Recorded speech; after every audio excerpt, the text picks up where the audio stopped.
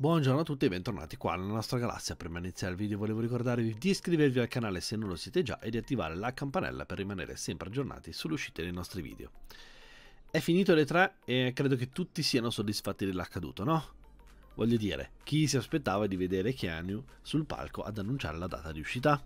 Nessuno, ma ancora prima chi se lo aspettava nel trailer dai colpo di genio di CD Projekt e Microsoft che l'hanno tenuto nascosto fino all'ultimo, bravissimi, applauso, a me sinceramente un po' barzotto è venuto.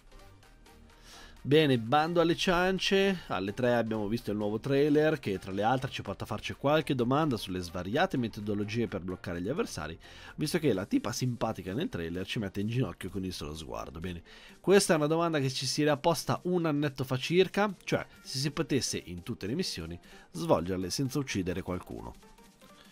Un anno fa vi avrei portato questo video dicendo che le affermazioni fatte da CD Projekt dicono che non si può non uccidere, alla fine della fiera siamo dei mercenari e il nostro lavoro è violento. Ma oggi... Oggi in realtà CD Projekt fa un passo indietro e guardando a un anno fa smentisce quell'affermazione dicendo che attualmente tutte le missioni possono essere svolte senza versare una goccia di sangue. Parlando con Sasco, quest'ultimo afferma che in Cyberpunk 2077 praticamente ogni pistola, praticamente ogni cyberware, sia in grado di usare le modalità non letali.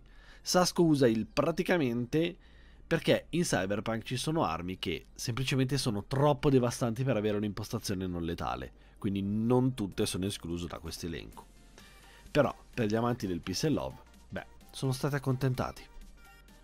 Che dire d'altro? Il gioco uscirà il 16 aprile 2020 e supporterà per i PC gamer la tecnologia ray tracing, di cui è stata mostrata un'immagine, e che in America del Nord e Canada non esisterà la versione limited, quindi quella con statua del gioco, sempre parlando per i PC gamer.